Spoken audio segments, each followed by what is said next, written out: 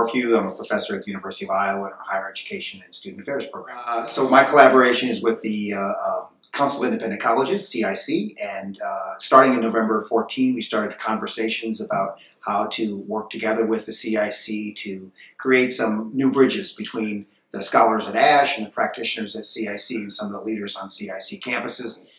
So one of the things that I think we wanted to accomplish with the with the collaboration was to figure out ways where um, uh, we can create a, a sustainable two-way uh, street between uh, the scholars at ASHE and the practitioners and leaders at uh, who are involved on CIC campuses, leading CIC campuses, and and who want to uh, find ways to use the the research that we and others create to uh, help deal with some of the challenges and opportunities on CIC campuses. At ASHE, we've talked. I've been involved in ASHE for a couple of decades now, and at ASHE, seemingly every conference we have this conversation about uh, what are we going to do to make our work more um, uh, uh, more credible, more useful, more legitimate, and, and applied that will that will make it of better use for uh, leaders on campuses, not just uh, independent college campuses, but also research university campuses, comprehensive campuses, community college campuses. And I think it's a very difficult thing to do for a number of things. Many of us are, of course, caught up in the um, in the promotion and tenure um,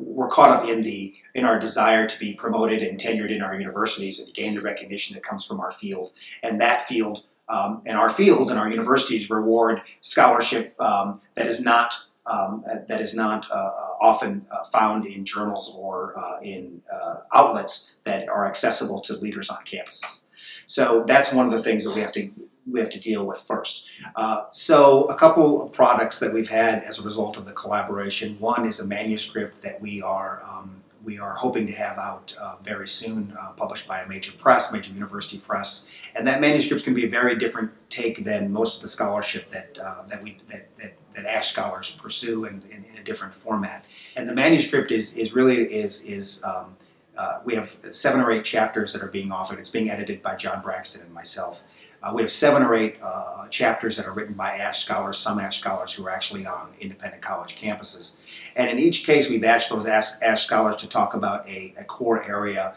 uh, of importance to uh, independent colleges. So access and equity issues, learning technologies issues, making, uh, making uh, meaning making in the liberal arts. These are all core uh, independent college issues. And then in, in, each case, we've also asked a president or provost from a CIC campus to uh, react, if you will, to to that uh, to the to the scholarship and uh, to what the the ASHE scholars have presented to them, and really ask them to say to tell us. Um, what's useful here, what's most useful here, what's missing here. Given what you deal with every day on your campuses, how does this chapter in this scholarship speak to the problems and opportunities on your campus? Uh, the other product that we're pursuing um, uh, is, is what we're initially calling the ASHE Experts Bureau, which is going to put, which is uh, an opportunity for ASHE to designate in certain subject areas with certain scholars, to designate certain experts that CIC leaders can call on for informal conversations that may result in, you know, continuing sustained relationships but an opportunity for a CIC leader who's facing a,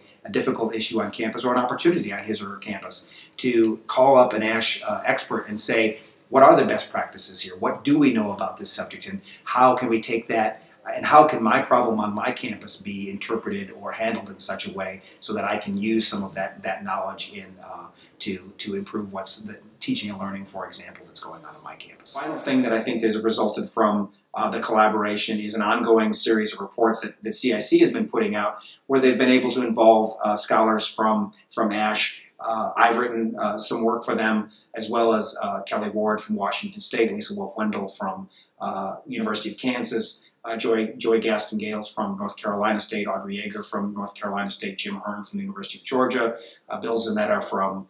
the University of Washington, all very active ASHE scholars who are now collaborating on reports that are written specifically for CIC uh, membership as part of the CIC's campaign on the independent college's role in uh, higher education in America.